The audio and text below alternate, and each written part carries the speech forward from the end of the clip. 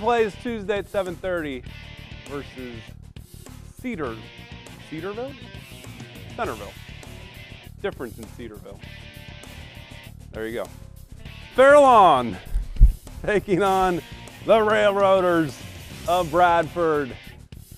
The Jets now with an FCA. Off the tip, the Jets start quick. Drew Brodigan gets the hoop in the arm. He'd make the free throw. And dishing from the inside out, Luke Hickman bangs home the wing three.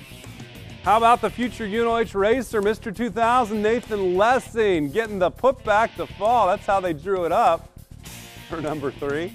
Lessing playing some defense, gets the steal, and he's going coast to coast. Nice lay-in.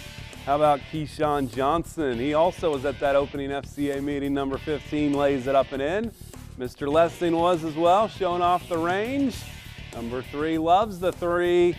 And Lessing still not done. Cleaning up the garbage down low. This looks like a similar play. Did we already see that? Fairlawn wins 44 or 72 44.